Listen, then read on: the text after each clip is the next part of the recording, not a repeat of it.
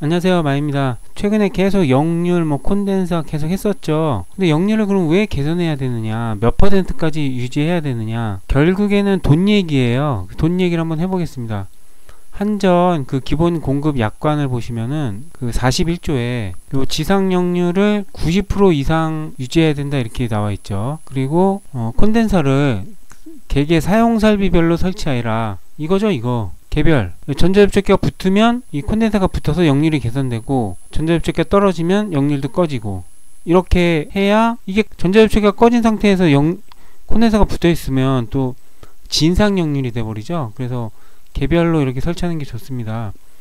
그럼 안 했을 때는 어떻게 되느냐? 어, 43조를 보시면은 지상 역률 90% 미달하는 경우에 60%까지 1%당 0.2%를 추가한대요. 그 기본 요금에 1%당 0.1을 추가하고 90에서 95까지는 1%당 0.2%를 감액한다는 거예요. 그러니까 예를 들어서 90%가 기준이에요. 그래서 91%가 됐어요. 역률이. 그러면은 1%당 0.2니까 0.2%의 기본 요금을 깎아주죠. 근데 만약에 반대로 89, 88이 됐다. 그러면 1%는 0.2니까 0.4%를 더 돈을 내야죠. 기본 요금. 그래서 고지서를 보시면은 여기 이제 지침 사용량이라는 계산 있잖아요. 여기 보시면은 사용량이 이제 48,219kWh예요. 그 다음에 무효 전력이 5,414. 이게 예를 들어서 이게 유효 전력이잖아요. 48,219에요. 여기가. 그쵸? 그리고 5,414가 요 무효 전력이죠. 그러면은 이 역률이라는 것은 이 이게 피상 전력이라 그러나요? 피상 전력 분의 코사인 세타니까 피상 전력 분의 유효 전력. 그죠? 유효 전력량. 그럼 요 피상 전력량을 한번 구해 볼게요. 피상 전력량은 요거 유효의 제곱 더하기 무효의 제곱의 루트죠. 계산해 보면 어 48,219 48,219의 제곱 얼마 나옵니까? 232507196일이 나왔네요.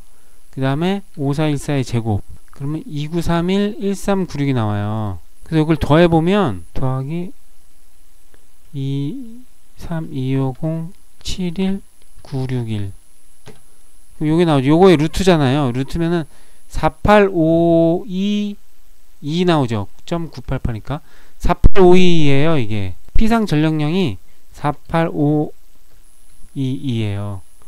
그러면은 역률은 이 코사인 세타잖아요. 그러면은 48219 나누기 4852죠. 48219 나누기 48522 하면은 0.9937이죠. 그래서 이게 99%가 나왔어요, 지금. 그래서 99% 나오니까 90%에서 95%까지는 깎아줘요. 96이나 97, 98, 99는 똑같습니다. 95%니까 5%가 올라가 조, 더 좋죠. 95까지. 그러면은 0.2 곱하기 5 하니까 1%를 깎아준 거예요. 기본 요금의 1%를 깎아줬어요.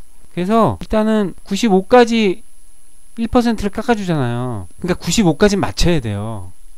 아니 90까지 하려니까 뭐 90까지 맞추죠. 아니 그렇게 하면 안 되죠. 기왕이면 95까지 맞춰서 할인을 전체 다 받을 수 있도록 고지서를 한번 보세요. 뭐 이거 맨날 전기요금 이거 뭐 공공요금이라고 보지도 않고 그냥 돈만 내는 경우 있는데 이런 것도 한번 보실 줄 알아야 돼요. 그래야 우리가 안전관리자 월급 받고 하는 일이 이런 거 아닙니까? 반대로 80, 뭐 9, 88, 88 나왔으면은 0.2%니까 1%당 그럼 0.4%를 더 내겠죠. 뭐 금액은 해봐 얼마 안 되지만 그래도 우리가 월급 받고 일하니까 이런 걸 한번 보면 좋겠습니다.